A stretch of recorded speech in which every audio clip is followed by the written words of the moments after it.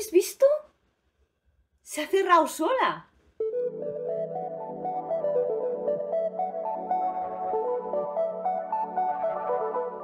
Hola bienvenidos y bienvenidos a un vídeo más de Bake Ellie. Hoy os traigo un vídeo diferente. Hoy quiero hablar sobre el packaging de los productos alimenticios japoneses. Seguro que a muchísimos de vosotros os va a interesar este vídeo, así que quedaos hasta el final. Japón siempre ha sido un país eh, que ha estado en la vanguardia en cuanto a la tecnología y con respecto a la paquetería no se queda en absoluto atrás. Los envases de los productos alimenticios japoneses están diseñados para, uno, ser súper llamativos, con lo cual quiere decir que te sientas atraído a comprar ese producto. Dos, que sean fácil de abrir. No te ensucias y no necesitas ninguna herramienta para abrir el envase. Y tres, es fácil de comer. No necesitas ningún plato y a veces ni siquiera necesitas ni cucharas ni ningún cubierto para comerlo. La verdad es que los envases de los productos alimenticios japoneses son muy ingeniosos y hoy en este vídeo os voy a presentar diferentes envases y os vais a quedar con la boca abierta. Vamos a comenzar. Quiero comenzar con un clásico y son los onigiris. Aquí os traigo tres tipos de onigiris. Estos tres onigiris tienen una forma diferente de abrirse y os voy a explicar cómo. Bueno, comencemos primero por el clásico triangulito onigiri. Como veis, tiene incluso hasta 30 yenes de descuento. Empecemos a abrirlo.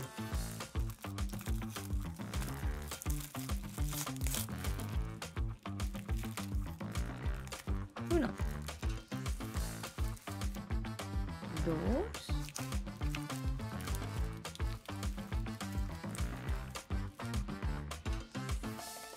3. Seguimos con el siguiente onigiri, se llama futomaki. Os explico cómo abrirlo. Aquí la parte más importante es esta, donde pone hiku, que es pull, o sea, estirar. Comencemos. Número 1, expiremos. Aquí está escondido, pero tenemos el número 2. Primero vamos a desplegar las alas. Quitamos uno y quitamos el otro. Tiremos, lo volcamos un poquito a un lado y lo cerramos. Y ya está. Ya tenemos nuestro futomaki. Gracias a esta forma de abrir el onigiri, los dos onigiris mantienen el alga nori fresca y lista para comer. Escuchad. ¡Itadakimasu!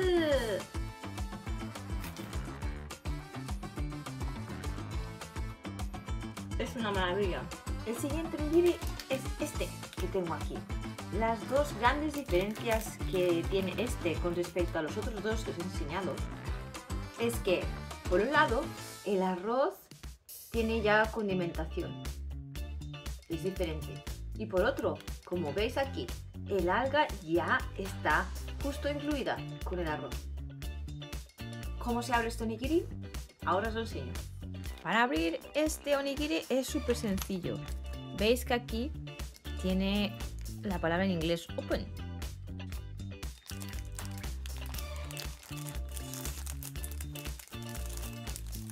Y ya veis que aquí con este envoltorio no me ensucio para nada las manos. Se me olvidó decir itadakimasu. Como habéis visto, esos envases son fantásticos y te hacen la vida cómoda. Fácil de abrir, fácil de comer. Pero el problema número uno al que nos enfrentamos es a la cantidad de plástico que se produce. Vamos a pasar a las bebidas. Otro diseño bastante inteligente que tiene Japón es este. No es el envase de por sí del paquete de zumo, sino es más bien la pajita. Las pajitas de los envases de bebidas en Japón son increíbles, mirad. Veis que aquí tiene una fichita, ¿verdad? Y un texto en japonés que dice Oshidashite kudasai, que significa que aprieta hacia abajo para sacar la pajita. Lo que tienes que hacer es aprietas y sale.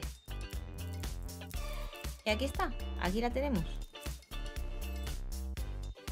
Si veis, el diseño que tiene esta pajita. Por un lado tiene para hacer el agujerito y por otro lado tiene una especie de arrugado aquí. Y haces así. Así. La fijas bien y se dobla. Ahí está. Y ya está listo para beber. Los noodles instantáneos. Bueno, y este sobre todo que es de Cup Noodle. Cup Noodle es una de las marcas de noodles más famosas que tiene Japón y es conocida internacionalmente. Justo este packaging es de paella. Bueno, paella española. Ya veremos qué tiene de paella española esto. Y es que este diseño tiene una nota muy muy interesante. Resulta que para comerte este tipo de eh, fideos instantáneos, cuando abres el envoltorio y pones agua caliente para que se hagan los nudes, tiene una pequeña pega que es que se abre la tapa. Y claro, ¿cómo se soluciona el que no se cierre la tapa? Muy sencillo, con esta pegatina. Despegamos la pegatina. Guardamos la pegatina y vamos a abrirlo. Como veis, así es el envoltorio de los noodles. Abrimos por aquí. Agua caliente, 3 minutos y listos. Abrimos agua caliente. Y aquí venía el problema de que no se cierra. Pero con esto ya se acabó el problema. Y ya está. Y ahora, a esperar 3 minutos.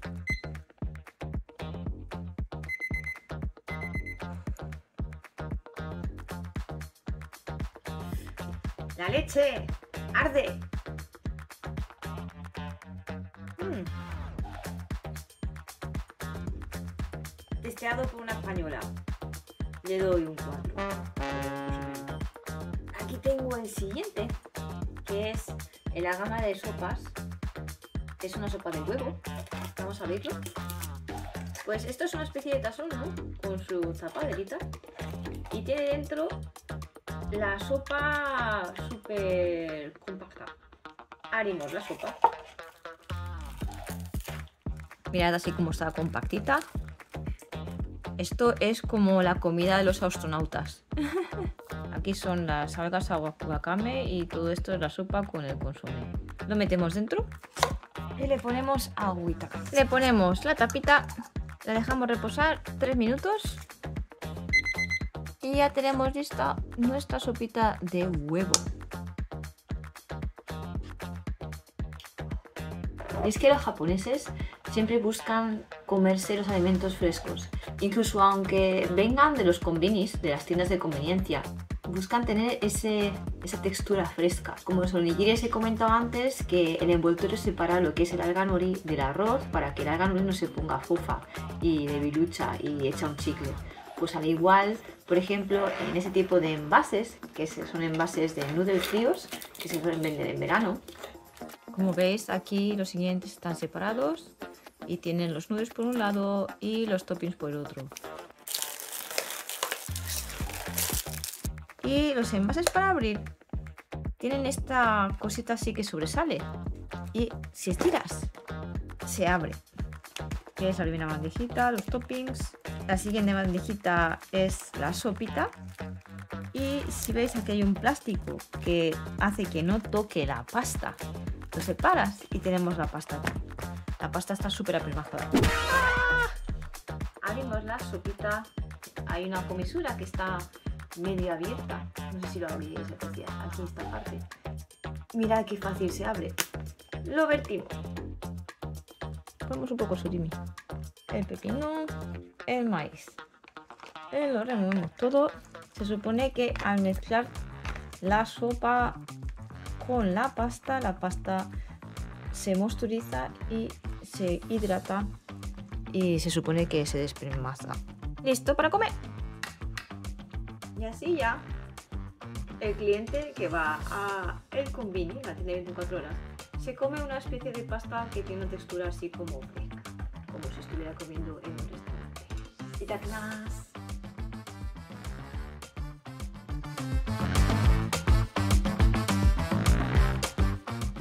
Y llegamos a la parte que más me gusta, los envases de snacks. Y es que aquí hay que separar entre la parte salada y la parte dulce. Vamos a comentar por la parte salada. Tenemos esto, es una bolsita de edamames. Son una especie de judías verdes, ¿no? Así japonesa. Mira qué chulo el envase. Está en plan triangular. Y es que es así por una razón. Aquí hay una especie de, flechitas que van en ambas direcciones. Y los números 1 y 2. Cogemos desde arriba y abrimos. Este envase, como veis, es un envase que tiene además no solo el cometido de contener las edamame, sino que además hace de plato. Y por un lado te pones las edamame y después de comerlas la pones en el otro lado las pieles y sigues comiendo. Súper ingenioso, ¿verdad? Mm. Necesito una cerveza. Otros tipos de snacks son, por ejemplo, especie de rice crackers, ¿no? Son zen-based que tienen forma de onigiri. Mira qué kawaii. Como os he dicho antes, el envoltorio tiene que ser súper kawaii. Y es que la verdad que este cumple su cometido. Y me diréis, ¿y cómo puñetas vas a abrir? En extranjero la gente haría así, de un extremo al otro, así, no puedes abrirlo. Pero los japoneses tienen una forma muy, muy sencilla. Buscad siempre esto, esto es una pista esta comisura de aquí, que hace un triangulito hacia abajo. Si lo coges de aquí y lo abres, se abre súper fácilmente de costado. Y ya te puedes comer las senbeis con forma de onigiri. Mirad qué monas. Mm. Son medio saladas, medio dulces, con salsa de soja y alga nori. Una delicia. El siguiente envoltorio es este, se llaman Nencon, que son flor de lote rebozadas. Estas precisamente son mi preferido. Y preguntaréis, ¿cómo puñetas abro yo esto? Las comisuras. Tienes que siempre buscar las comisuras. Aquí. Abrís la comisura. Y listo. Mirad qué chulas. Un ejemplo muy sencillo que se puede comparar con envoltorios de snacks del extranjero son las bolsas de zapatillas. Buscad siempre esta parte de comisuras, que son en zigzag, así como puntiagudas. Sea por el lado que sea, si lo quieres abrir por la mitad, lo que sea, pero siempre os aconsejo un costado y abrirlo así. Y ya está, lo tenéis de lado. Mirad, estas gummies, que son golosinas, así con forma de nuecita. Esto es súper interesante este paquete. No es como esto, que una vez lo abres te lo tienes que comer sí o sí, le pones una pinza y a lo mejor entra el aire, se pone blando, se reseca y tal. Bueno, este envase tiene dos aperturas. Uno es la primera vez que lo abres y segundo, las siguientes veces que puedes comer. Tiene aquí dos flechitas a los lados. En japonés también tiene escrito kiriguchi, que es la boca de apertura. Entonces, lo que haces es, coges así, ya se supone que está abierto, pero es que además, si abres aquí a los lados, tiene una especie de cierre hermético, que te lo comes una vez y dices, bueno, ya no quiero comer más. Lo quieres así herméticamente y listo. Ingenioso, ¿verdad? Estos siguientes envases que os voy a presentar vamos, merecen un puesto de honor total. El envase, que son dos en uno, de salsas y cremas para untar. Y luego tenemos el bote de mermelada natural. Como he dicho antes, uno de los cometidos de los envases de los productos alimenticios de Japón es que sean cómodos, fácil de abrir y que no te ensucies. Vamos a abrir. Tenemos una tira Mirad como veis todo viene empacado en piezas de plástico. Vamos a coger uno. Tenemos aquí por un lado la mantequilla y por otro la mermelada de fresa. No tenéis que coger ningún cuchillo ni nada, solo vuestras manos. Tengo aquí la tostada y lo doblamos y ahí está.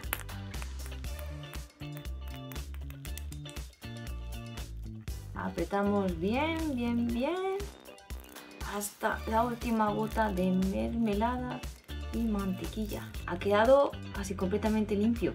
Y en mi tostada, sin mancharme, sin utilizar nada, tengo todo. Un buen invento, ¿verdad?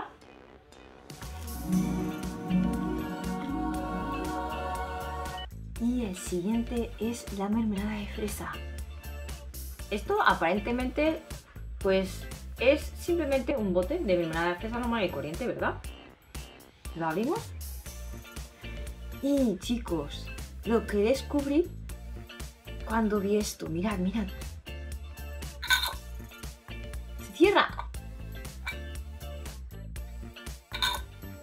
Y no hay que hacer nada.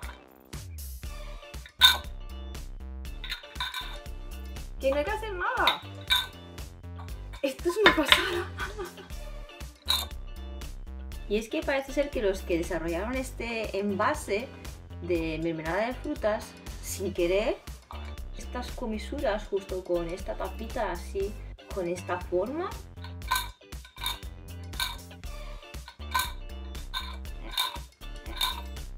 cuántas veces voy a hacerlo que se va a hacer igual. es una pasada.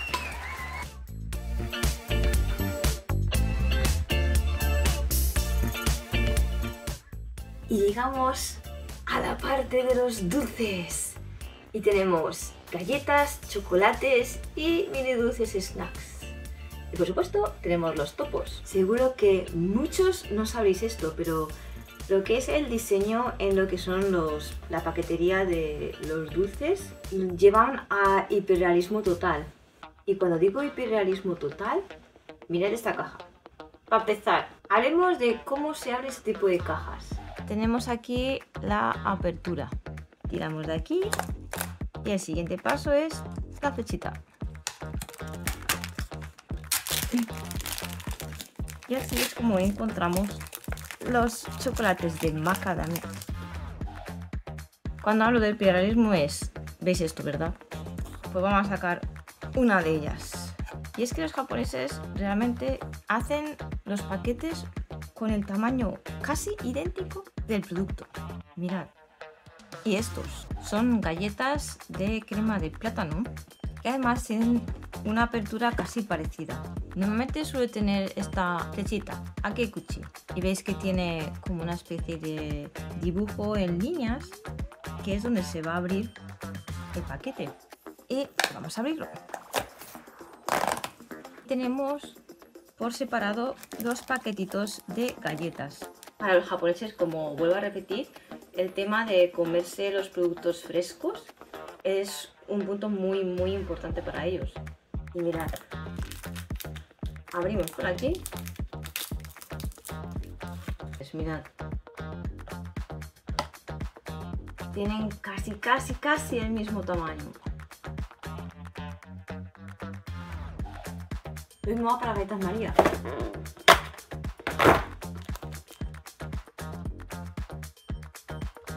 Y por último, llegamos a los topos de matcha. Es una especie de versión de cookies, pero en vez de tener mitad palo de pan, mitad de chocolate de matcha, este está por dentro. Y es súper curioso esta apertura. Aprietas y lo has apretado, lo abres y tiene dos individuales, porque los topos es para comerlo con alguien más, no tú solo. Así que tienes dos paquetes para compartirlo con alguien. Aquí está guay. Y si lo abres por aquí por la mitad, tienes justo la altura en la que te vienen los, topos. Es como un bastón, ¿no? Así de pan. ¿Creéis que tiene la misma largura que el dibujo, la realidad? Exactamente lo mismo. Bueno chicos, y esto es todo por hoy. ¿Qué os ha parecido el vídeo acerca de los diseños de paquetería de los productos alimenticios japoneses? Dejadme aquí abajo en los comentarios qué es el diseño que más os ha impresionado. Si os ha gustado este vídeo, dale al like y suscribiros para aquellos que todavía no seáis suscritos. Y dale a la campanita para que sepáis cuando subo un nuevo vídeo. Y nos vemos en un vídeo más de Bank Elite con más experiencias y un poquito más de Japón. Dale.